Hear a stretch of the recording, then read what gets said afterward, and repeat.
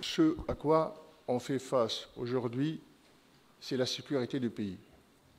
Ce n'est pas la menace contre les libertés. Quand la sécurité est à ce point visée, il faut, il est notre devoir en tant que gouvernement de l'assurer. Le premier des droits, c'est celui d'assurer la sécurité et la garantie de la vie humaine. Le seul instrument juridique qui est à notre disposition aujourd'hui, c'est l'état d'urgence.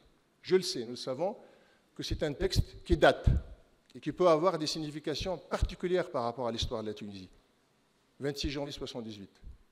Mais c'est un texte qui a été pratiqué, mais qui n'a jamais menacé la liberté en Tunisie.